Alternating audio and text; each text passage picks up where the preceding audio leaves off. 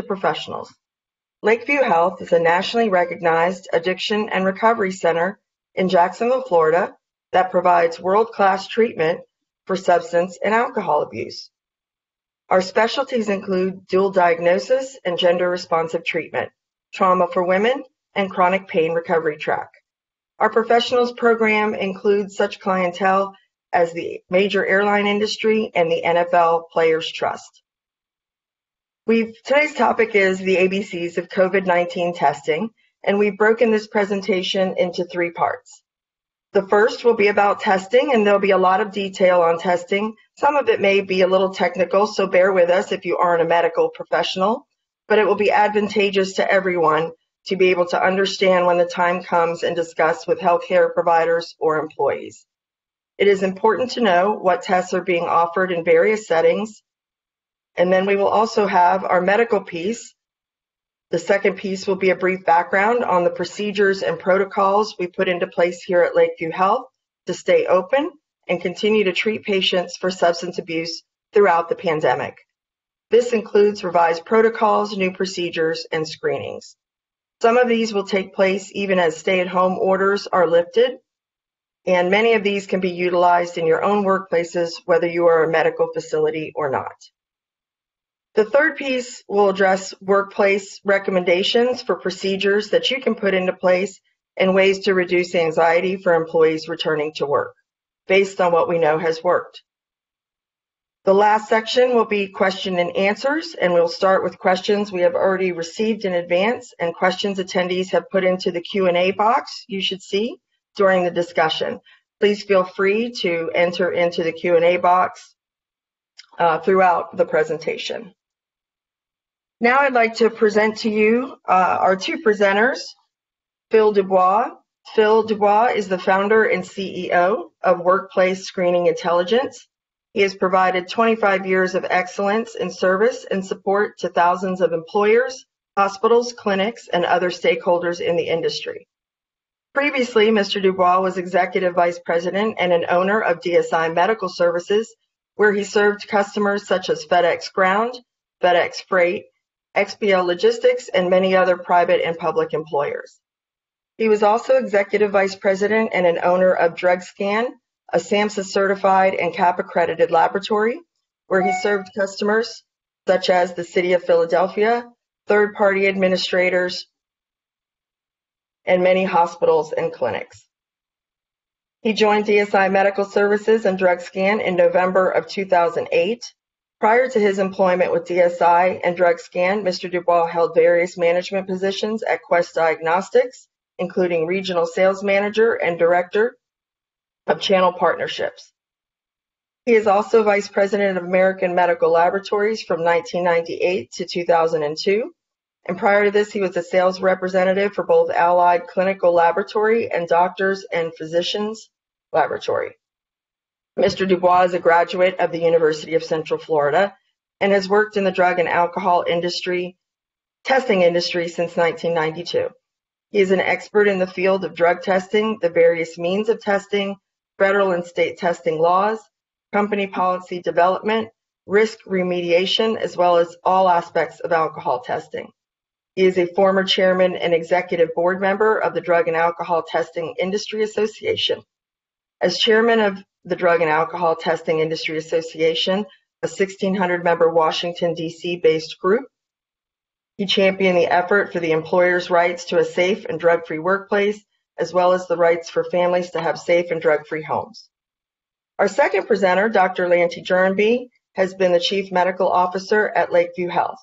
She graduated with honors from Vanderbilt University, attended medical school, and completed her residency at the University of Florida and after completing her fellowship at Yale, was the medical director of the dual diagnosis, diagnosis unit at McLean, a Harvard University affiliated medical hospital and one of the top ranked psychiatric units in the U.S.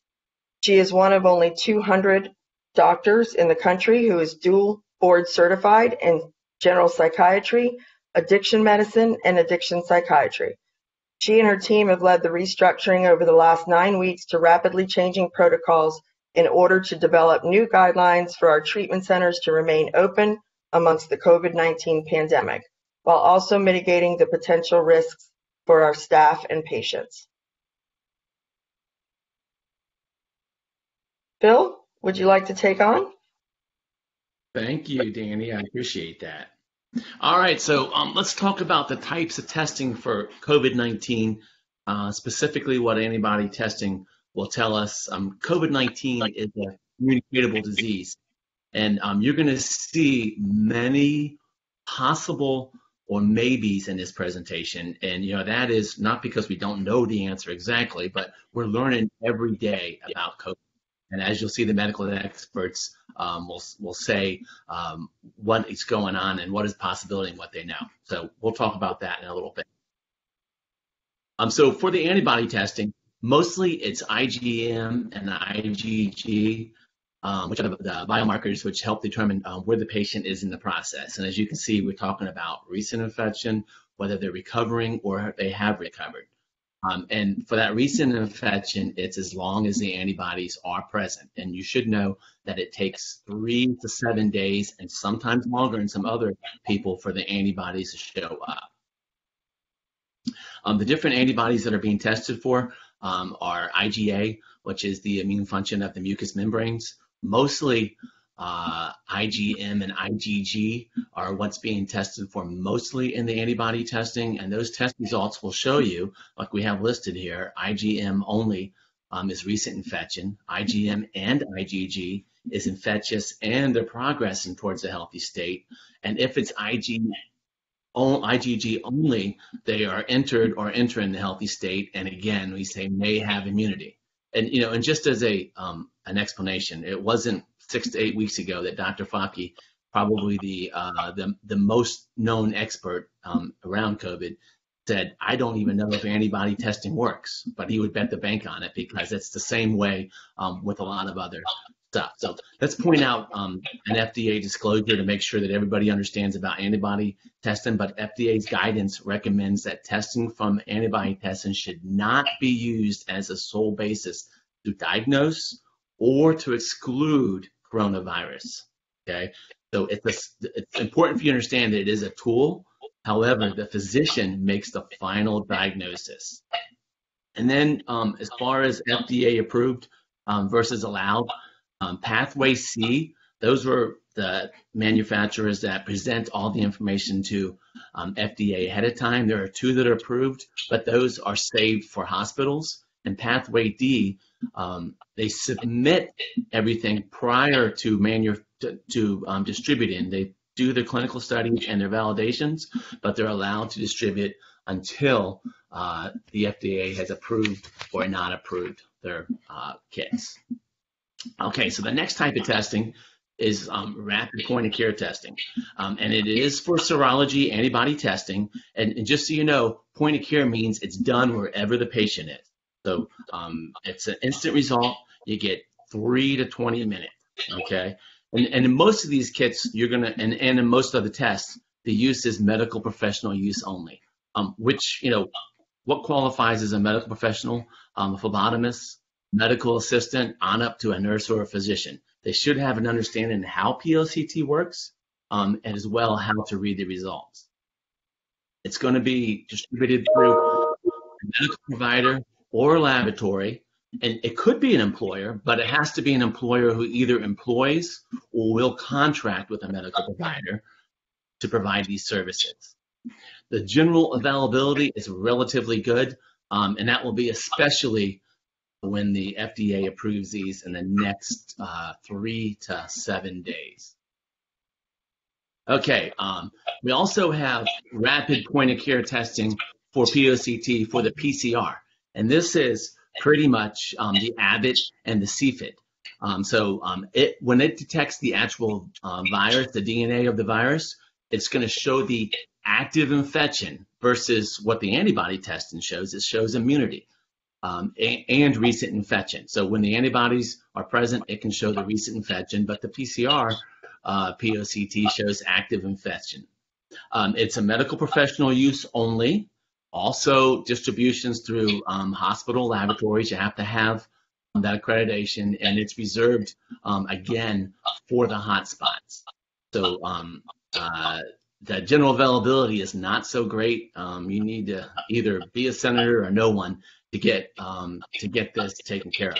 And um, just as recent as this morning, there was a study that was uh, published by the New York University Hos- Hospital System, and um, half of the tests that um, Abbott missed, Cepheid picked up. So uh, it's probably going to uh, get Abbott looking at their tests as well as um, get uh, a little bit of uh, recognition for what they've been doing.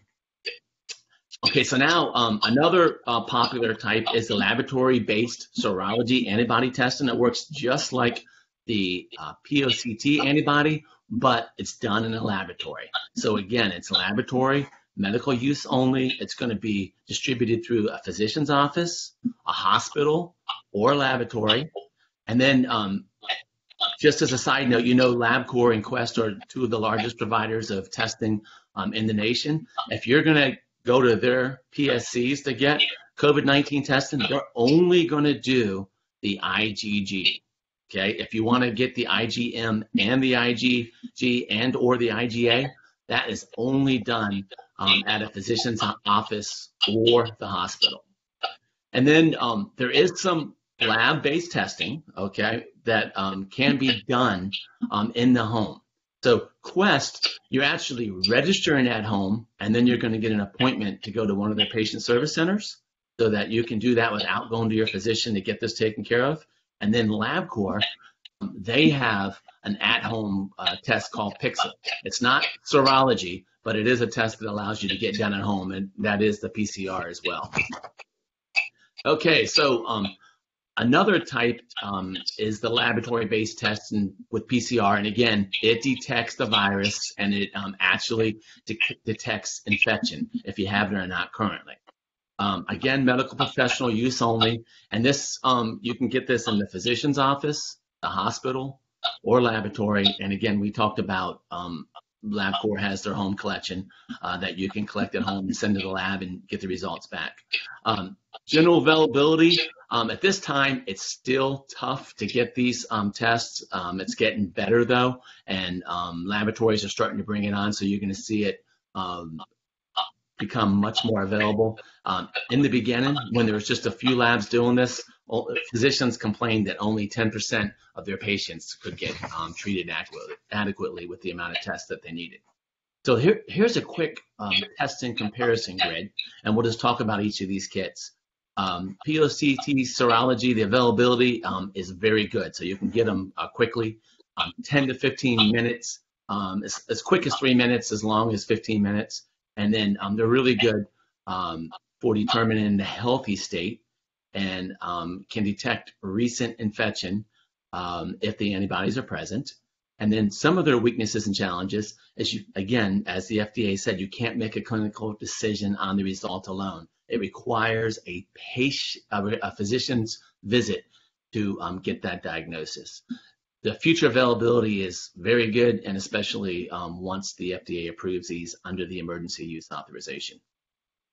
Lab-based serology, um, there's a decent amount of availability. New people are bringing them on um, daily, so uh, you'll see the labs are um, starting to get quite a bit of this testing out there. You get the results back in one to two days, um, and again, it will tell you if you're healthy state um, or if you had um, recent infection if the antibodies are present.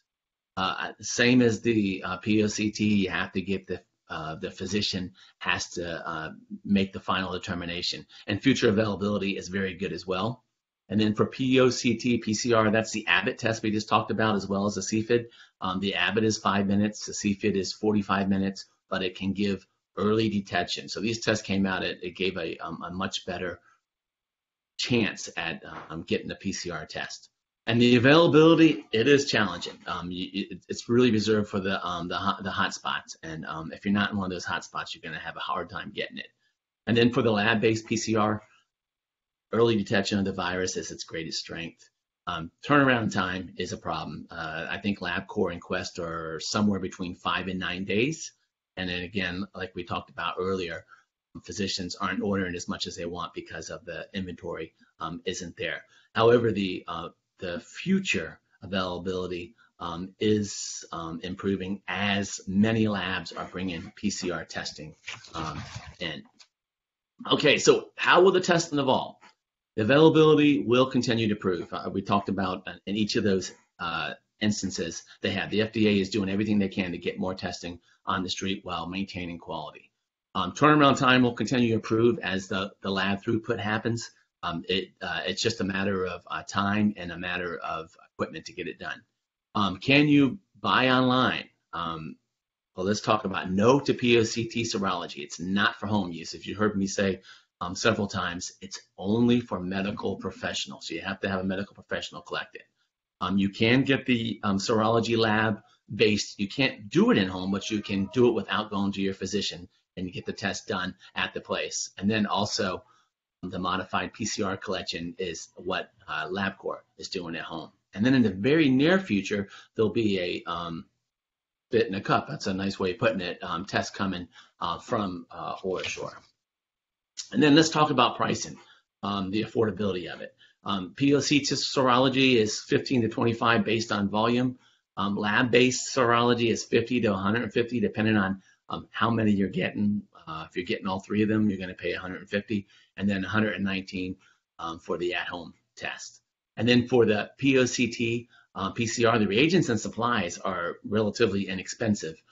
The problem is, is the equipment to run it is a $6,000 reader for Abbott and 100,000 uh, for their Architect testing.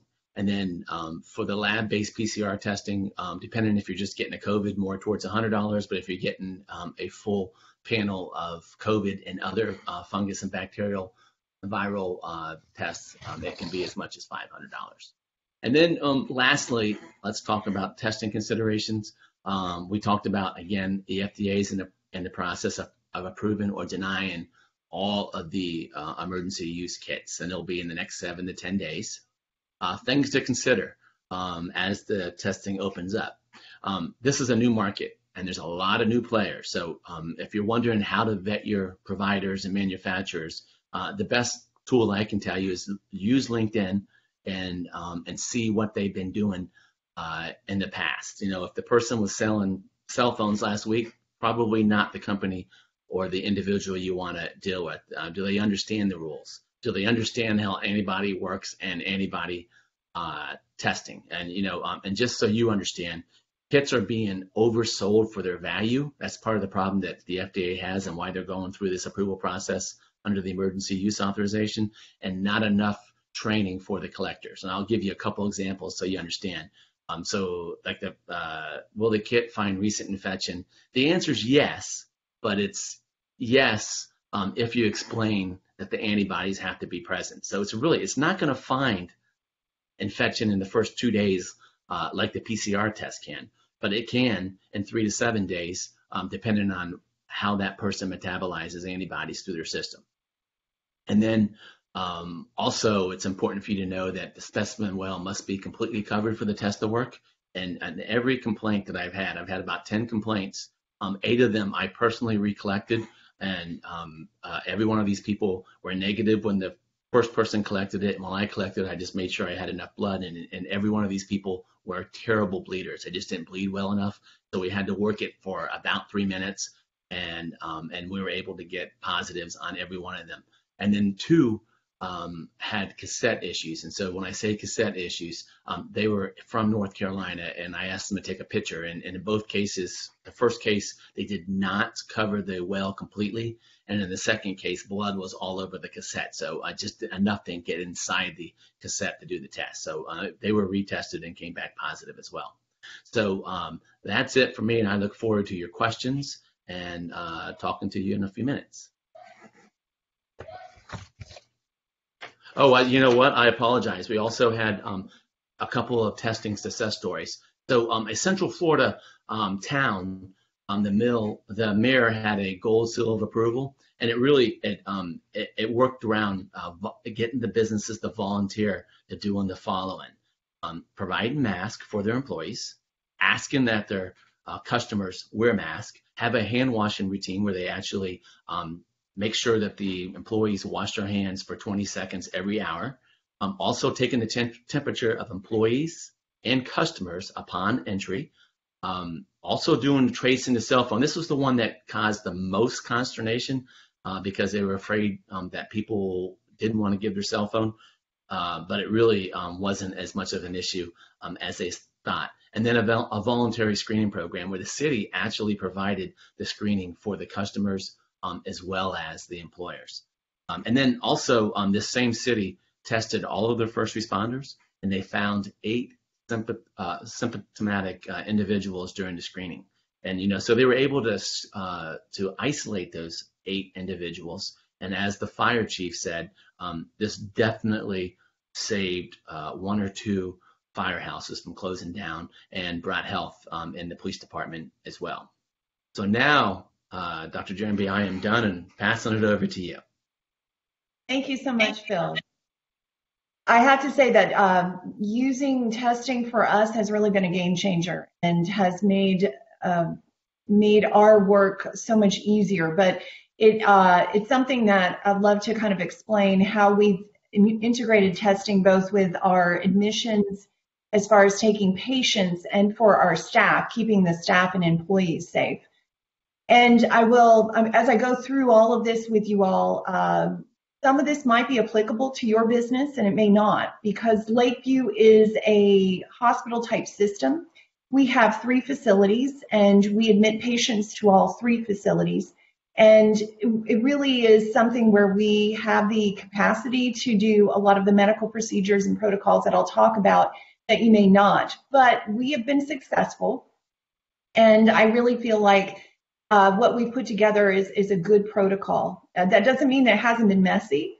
Uh, when we first started with our response to the pandemic, it, you know, we took some time to review what the CDC had out there. We took some time to review what we were seeing in our own patient population, but it it, uh, it was every day was a learning experience. And I referred back to what Phil said earlier: is that there's still a lot that we don't understand about this virus you will see every other week the CDC updates their guidelines. They may update symptoms. And so staying flexible and pivoting as you can with your team is going to be really important. So one thing I, I would definitely say is that we started early here at Lakeview. Uh, and when I say early, I'm, I'm saying probably about two weeks before the state mandated a stay at home order. We were sitting down, we developed a, a COVID response team that team uh, included our medical team led by myself and our infection control uh, official. We had our VP of operations. We included our IT chief. We also had our HR department and our compliance attorney. And we included marketing and communications. And this is, it just has turned out to be a great team because these people are, they all are so knowledgeable in all of their different fields. And we were able to combine all that knowledge in a really good way to create a good response for our patients and our staff. So that early start is really important. And maybe some of you are saying, wow, we're already nine weeks into this, but I don't think you can start any earlier uh, than I think it's, it's always a good time to start planning because I do feel, you know, listening to what Dr. Fauci has said, there probably will be a rebound with this virus. Um, even in the fall, when we have the flu season enter, we're going to see some of this come back around on us. Right now, I think we're in a little bit of a, a plateau period, at least here in Florida, and we're opening up. But I think that there will be some sort of rebound with infection, and having uh, a plan in place now is so important. And I'll tell you what we did do was with that team, we we looked at uh, three main goals. The first one was to maintain a safe staff and treat our staff in a servant leadership way, meaning we supported them if they needed help with childcare, if they needed, you know, if we had to resolve leave issues, things like that. Um, that was one of our goals. And then the third goal was to maintain uh, the facility, keep it open, keep treating patients. And we've been able to keep all those goals um, successful. And in fact, we've seen kind of a skyrocket of admissions because I believe of the pandemic. We have massive unemployment and, and people isolating, and it really weighs on everybody's mental health. It can trigger relapse and addiction. So, this has been very important to be a resource locally and nationally for people seeking treatment for addiction and mental health. And with our early screening procedures, and, and, and Phil's talked about the testing, the very first thing we did was we set up screening for both our patients and for our staff. We knew that patients we had fair control over. We knew where they went, we could control who they saw, where they, you know, where they spent their time. But with our staff, knowing that they were able to leave at the end of the day, go home, maybe stop at the grocery store, see a family member, and then possibly get infected and spread it back at, at work the next day. So it was really important to hit not just screening for the patients that came in, but for our staff. And that screening initially was the CDC questions. And if you go on the website now, the questions have certainly gotten a lot longer, but the initial ones were cough, fever, and shortness of breath. And then, and then pretty quickly after that, a loss of smell. So those were the questions we put together. We included questions on travel, hotspot areas, exposure, and we did that for our staff. We also did fever checks every day on our staff as well. And if anybody failed those questions or had a fever of over 100.0, we sent them home before before they went home. They were tested. And you know, Phil had mentioned the lab PCR. Luckily, and we were just very fortunate at Lakeview, we had long-term relationships with laboratories. We were able to do that that lab PCR test on anybody who was symptomatic. Now, the challenge was it was a four to five day turnaround, and people were either staying home or we had to quarantine patients. And so that is that was a real struggle. Now, we also started testing all of our all of our admissions about three weeks in to this pandemic, knowing that there were asymptomatic people walking around, knowing people could be carrying this virus not be aware, not have symptoms, and then be a, a, a, focal point to spread the infection in our facility. So we were able to pivot again, be very flexible, and we started using these point of care tests along with the swab to ensure that not only were we catching maybe somebody who had developed immunity, but we also could confirm that they did not have the actual virus or the actual viral DNA. Now, there were people we could not admit. And unfortunately, there were patients that came to us for treatment that were positive for coronavirus. And that was very difficult and, it, and it, it broke my heart to turn these people away. But what we ended up doing, and I think this is really um, something that's been great uh, to see across the country, is that we were able to follow those patients with telemedicine. So they were quarantining at home, but we could see them daily. Our, our clinicians, our doctors could see them daily, talk to them, check in on them. And once they went through that quarantine period, we actually brought them back in for treatment. They had to test again and they were negative, but they were actually able to come back and, and get the treatment they needed. And so that was really rewarding that telemedicine could play a role there. So, so those are kind of the key things that we've seen with our facility. Now, we, we also employed a lot of higher level sanitation, um, and, and staff and patients were very, um, very grateful for that, our approach to sanitation around the facility. We limited uh, visitors, so unfortunately families weren't allowed to come in, but we did a lot of virtual family workshops, which actually turned out to be fantastic. Everybody loved those. Uh, we were able to have family interventions. And so there was still a lot of that telemedicine and telehealth playing a role. That virtual visit was so important. Uh, and then we also really felt like the employee screenings kept our staff confident that they were coming to work, they were coming to an environment that was safe you know, they may be able, you know, unfortunately, you might end up picking it up somewhere like at Publix or, you know, at, at, at somebody's home, but knowing that they were coming to work and knowing that everybody that showed up on site, myself, our CEO, everybody was getting tested and screened. Um, I shouldn't say tested, everyone was getting screened and having their fever checked. And so that confidence of knowing that we have a safe environment was really important for our employees.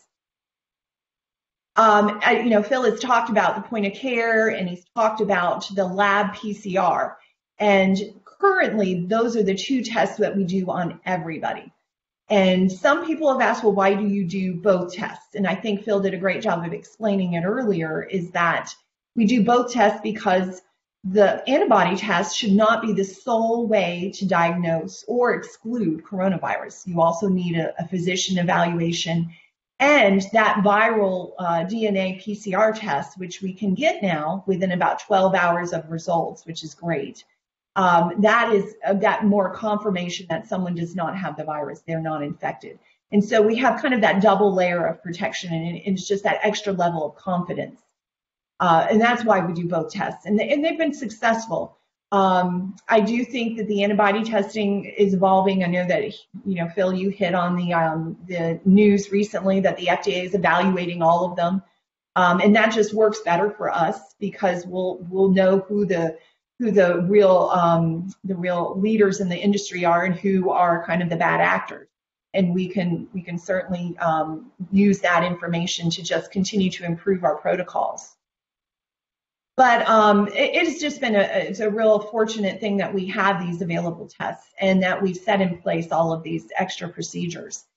Um, thinking about kind of best practices and, and how to apply all of this to the workplace, because again, we are a hospital-based setting. We do take care of patients. We're lucky to have that medical piece in place at our facility. So we have the ability to have doctor visits and we have evaluations and, and that sort of thing. And I know there are probably businesses and corporations that might look at this and say, well, how does that really, how can I take what you're doing and apply it to my business? Because you may not have all of the, um, all of the fortunate kind of medical pieces to, to your business. So I, I just want to hit a little bit on what we feel were really best practices.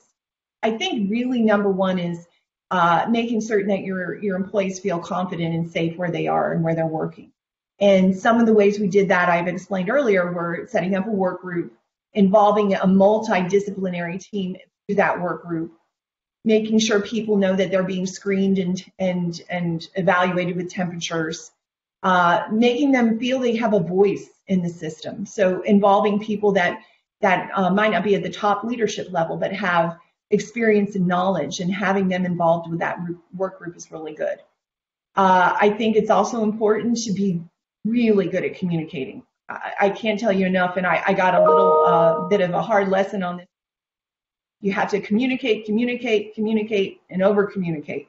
And uh, that means sharing information with your staff that may not be something you really wanted to talk about, or difficult things, or even things that are um, not going well, or even things that might be a little scary. But the fact of the matter is that uncertainty tends to create more anxiety than um, knowing what's going on and at least knowing your leaders have a plan and they're working on things. And I can't tell you how many grateful staff have come to me after I've sent an email out and, and said, thank you so much for sharing this. Thank you for transparency. I think that communication is key. And it shouldn't just happen from leadership to staff. It should happen among your leaders. It should happen at all levels because people really need to know um, what's going on. Another key thing I'd have to talk about, and I think it's so it's been revolutionary for us at Lakeview, is the this remote workforce.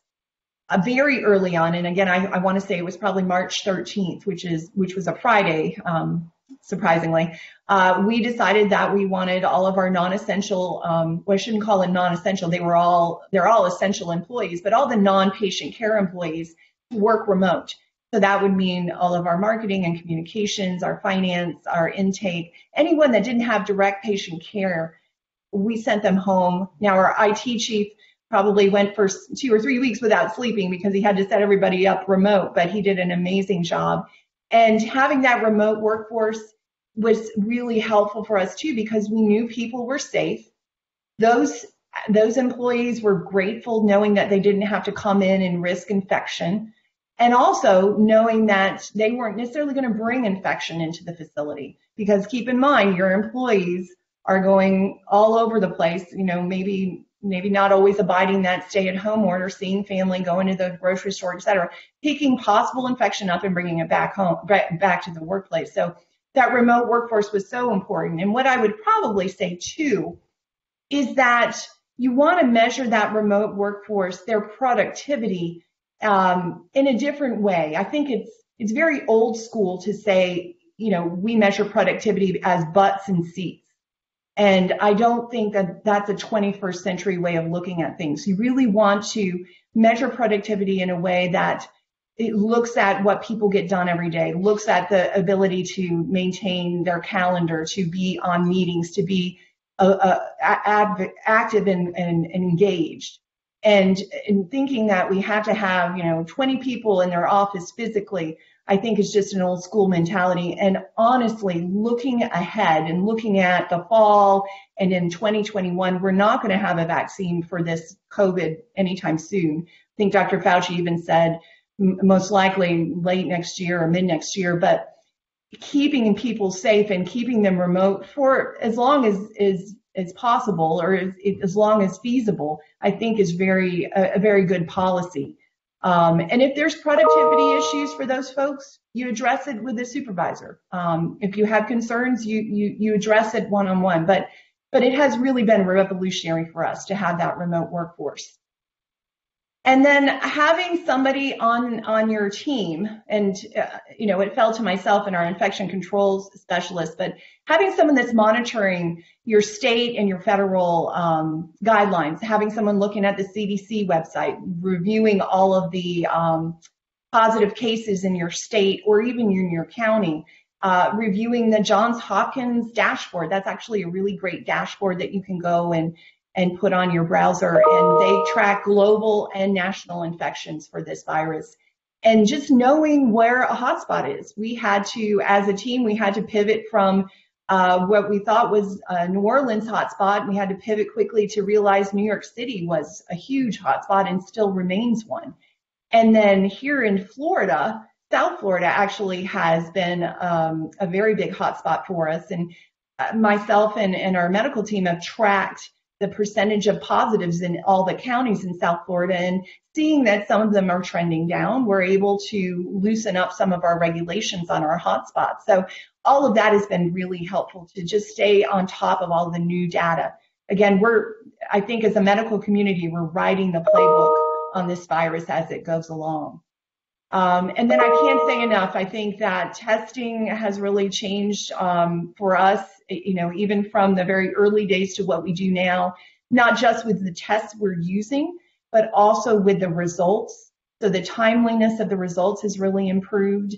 You know, if we thought initially we had a four to five day turnaround on a test result and people are desperate to get treatment from us, that, that was really hard to ask them to quarantine for four to five days these are people that might be detoxing or people that might have mental health or anxiety issues. Having them sit in a small room and not see anybody, I mean, that's excruciating. So now we have this this about 12 to 24 hour turnaround, and that has really been wonderful. And I think Phil, you you brought up too that things are just going to improve with the technology there. And we're even looking now, I know, at um, home testing at some point with that saliva test. So there's really a lot happening there. And I'll have to share with you too that going forward, looking at the end of the year, you know, we're in May now and I, you know, we're coming into the summer months, but I do not foresee us stopping any of our screenings for staff or patients right now. And in fact, I think we go through to the end of the year and probably into the next with the same protocols in place as far as temperatures and symptom checks and testing of all of our, our all of our um, admissions. I have kind of um, considered the idea of testing all of our employees every week. And, you know, I'm certain there are privacy rights that we have to consider with that too, but it is, there's some level of confidence that I would have of knowing everybody at, at work is, is healthy and safe. And we're not quite there yet. I, I definitely want to be strategic about how we use our tests. There's still a limited availability um, with them, and I want us to use them to the, the most effective way and I think right now we have a really good um, protocol for our staff with the screening and the temperature checks. So just a little bit of a summary, and I know I've hit on some of these points, but the, you know, one of the number one things I would say is you want to trust your staff. Um, knowing that you have their back, they will reward you with loyalty and that confidence that you are keeping this employment uh, employment center safe, that the work site is safe, that's just going to go miles for you. Um, your staff will love you for it. They will feel good about coming to work. Um, and that goes for your remote work too. I think the remote workers, as long as they can be productive, safe, and happy, you've got um, you've got a great a great thing going there. And I will tell you, we've been able to do that effectively at Lakeview. I also think you got to be very flexible.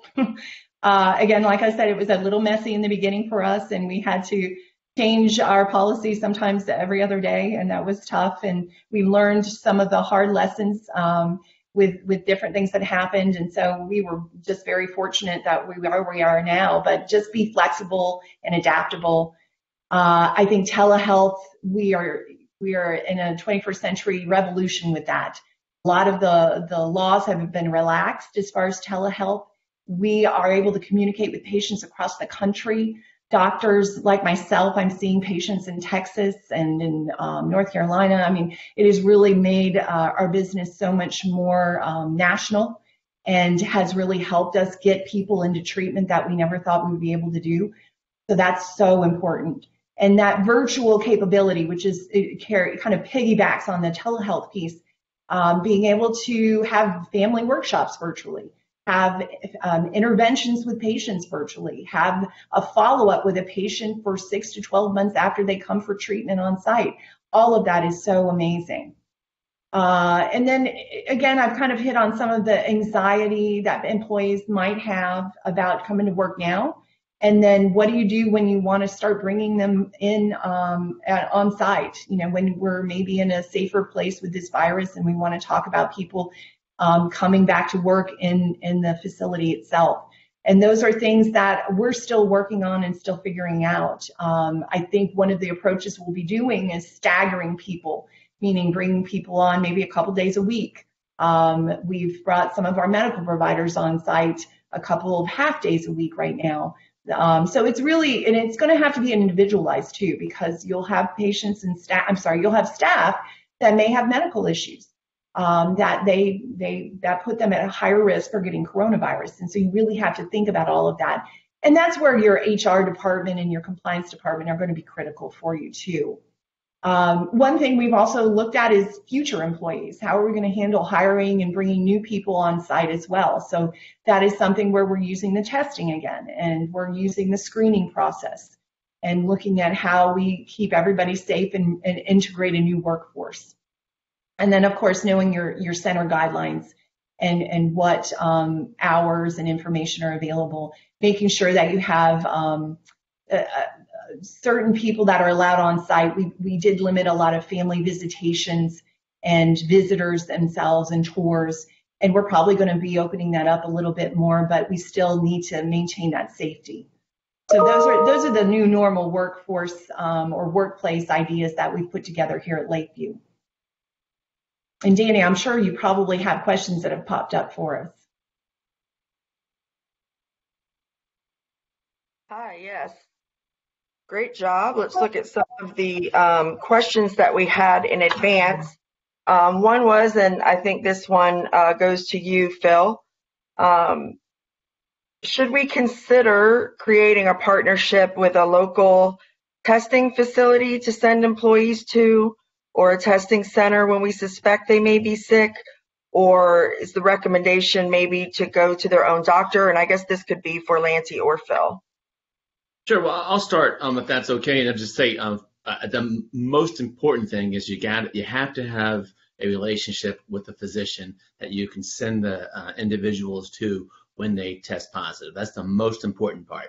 And then um, if you don't have that medical professional um, at your location, uh, whether you hire them, um, employ them, or whether you contract with them to come in and do those collections, then yes, you should definitely have um, a testing center where you can send people to, whether that's a um, physician or whatever the case may be. Uh, but you need to definitely have um, that taken care of ahead of time. And, and I would just piggyback on that saying absolutely. We we have a different kind of setup at Lakeview because we have positions and we have a lab on site. But one of the early things that we looked at doing was actually partnering with Mayo because uh, they're local here in Jacksonville and they um, they had some of the faster testing um, kind of protocols in place. So we actually did form a partnership with them. Um, but right now we're actually using our original lab because the the results uh, came back much faster for us. And so it just seemed to make a lot more sense that way. But partnerships have been so critical for us. Great. Um, the other question we have here is uh, how have your patients responded to being tested at admission? So I would say they all love it because they know that they're coming in and they know everyone else is being tested, and so they'll be safe. Uh, multiple patients have told us this, and in some of the in some cases, um, they they get a little bit riled up because maybe they think someone hasn't been tested and they they get a little anxious over it, but it, it has actually worked out in our favor. It, just people feel so confident that they they know they're coming to a safe facility, so they love it. Great. Um, will this presentation be available afterwards? Yes. Uh, here in Georgia, testing has been an admission. The guidelines were, and some still are, so strict and narrow that it takes three to four days to convince uh, the health department. I don't know if you guys have any comments there. I, I can, I can, I don't know, Phil, you've had some experience. No, no, go We- ahead. Yeah, I mean, that was initially what we would see with some of our staff, actually. They, they would tell us, you know, they'll call us from home. I have a fever, I have a cough. I went to the local hospital, I went to the Department of Health, and they wouldn't test me. They said that I probably had it. And honestly, my thoughts on that, and Phil, I'd love to hear what you think, but I think it was because the testing availability was so limited that we were reserving it for, like you were saying earlier, the, the real critical ICUs and the, and the hospitals rather than doing the general population. So when we heard that from a staff member, we just tested them because we, thank goodness, I mean, we were so fortunate, but we could test and get the results back. And we could say, okay, no, you don't. You probably had the flu. And actually, we can do the flu testing as well. So it was, it was, it still happens too. I think we had a few staff last week that had the same experience. Um, I think it is, as testing becomes more available, this will change. And uh, Dr. Jeremy, I uh, completely agree with you. Um, uh, the the testing is coming available, and at one time I heard a physician on TV um, said that uh, it was uh, she could only test 10% of the people that she thought she absolutely should test, and she said it killed her to, to not be able to test the other 90%. So it's it's that was four to six weeks ago. So um, it's definitely improved, and the availability is getting better every day. That's great. Terrific. Um, one of the other interesting questions we have here is um, what would be a reasonable accommodation for an employee who can't wear a face mask? Um, is a face shield a good alternative? Well, I did read um, a recent article about face shields versus face masks, and I believe the face shield actually has better protection depending on the type of um, material it's made of. The the face masks, I know the CDC initially said only people that had a cough or, or symptoms should wear them. Now we have everybody wearing them. So clearly we've evolved to a different state. But I, I would say the face shield is probably safer um, if you had to choose. And um, you know, I honestly think it's going to be really the availability of pp that limits people. We've seen it in our facility. Um, we've seen it nationally. We have encouraged our staff to wear cloth masks if they have them and launder them the way the CDC guidelines are. Um, but we also have uh, paper masks available. But it's always it's always a little bit like whack-a-mole. You're always trying to keep up with with um, all the PPE, and there's been all this kind of fraud around it too that I've read about. So it's been a big challenge. But right now, um, you know, with that, knowing if someone can't wear a mask, I think the face shield is a good alternative.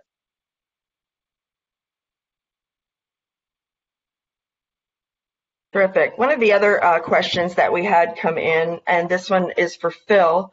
Um, are there, how do you think the additional costs will affect businesses for testing? Do you think that new demands for COVID-19 testing will potentially reduce uh, random testing for substance abuse or other preventative tests in healthcare? That's a good question. So, um, you know, let's just take a look at like Lakeview.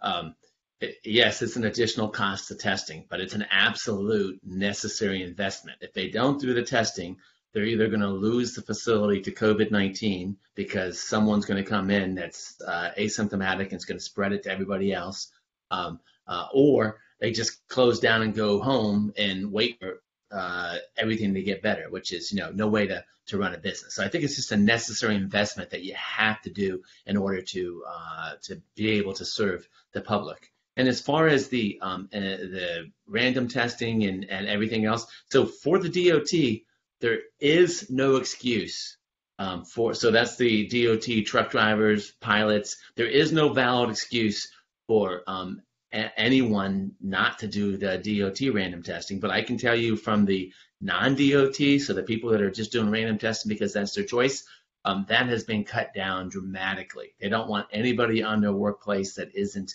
absolutely necessary. So the random collectors that come on um, aren't coming on, and um, in most cases they'll send them to a LabCorp request to get it done. But that has cut by at least 25 to 50 percent. So um, that has been affected, but for DOT, no effect. Okay. Um, one of the other questions again for Phil, uh, for lab-based PCR, what amount of time is considered early detection? So it, can happen in the first uh, one to three days.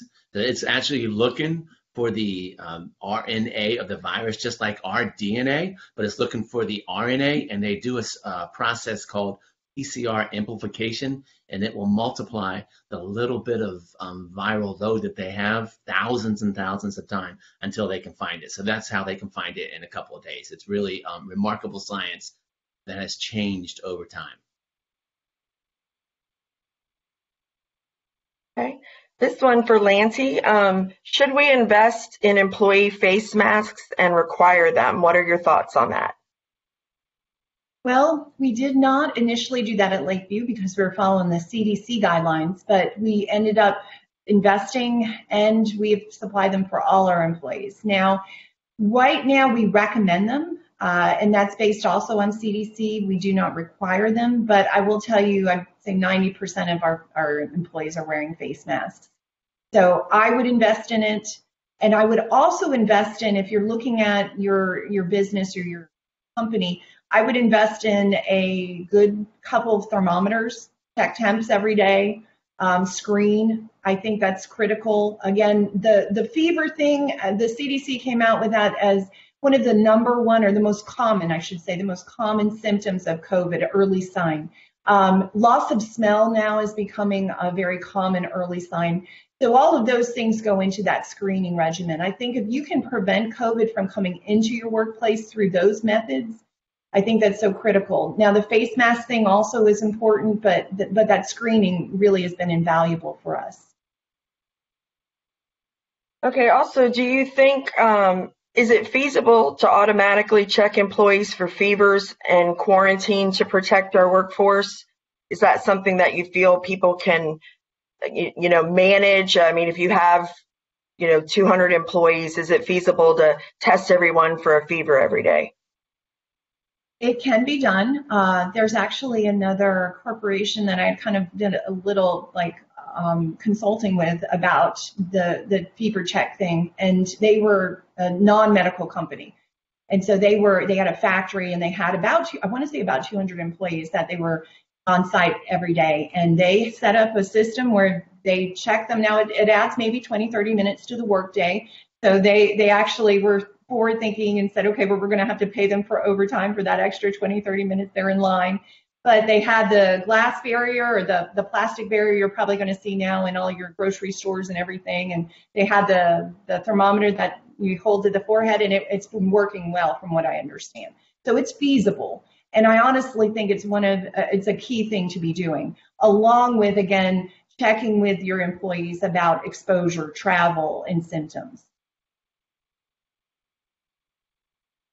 So how does that work as far as screening? Is that something that you verbally do or, you know, is it two or three questions or is it something that they fill out? Like what are some of the uh, ways that we're, we're, we're screening? So we have, I want to say there were about seven questions and yeah, that's another, you know, additional 20 minutes or 30 minutes to your workday. But what we do is we um, we have these seven questions. They they are presented with those questions. If they answer yes to any of them, then we select them out. We test them. You know, we check their temperature, and then we make a decision. So that the response team makes a decision based on how their patient or how the staff is presenting and all of that. Um, one thing that our infection control specialist Casey Sasser has come up with, which I think is brilliant, is having it on an iPad, um, having the questions kind of digitized and it's a little bit faster and, and it, you're, you're limiting kind of exposure and things like that where people aren't touching a million pens and all of that. And so they just come in, they answer all the questions. It's real quick. They get their fever checked or their temp checked, and they go they go onto the workstation. So there's some new new technology coming out looking at fever checks as well. Um, I have to read a little bit about that. That's something new that I just saw um, on the on the news recently. Um, one of the other questions is, uh, do you suggest screening or examining high-risk staff members, uh, 50 and older, raising hand, um, differently from those who are not in that group? Well, I will tell you that our, our older staff, and we looked at, I think it was 60 and over, um, we looked at those staff members. We helped them work remote if they could. Most of them could work remote. Um, and if they didn't work remote, we gave them special accommodations that were to limit exposure. So we did take into account that that kind of elevated risk, and that was that's been very important. Again, I feel it's so important to to communicate to your staff that you your their safety, their health is so important. Um, it's a top priority. So that everybody's responded well to that. Okay. Um, I'm not seeing any other questions. Um, we did have a couple of recommendations from uh, HR that I also wanted to share. Um, one is to, you know, companies often provide EAP info as part of a handbook or, you know, a sign in the break room.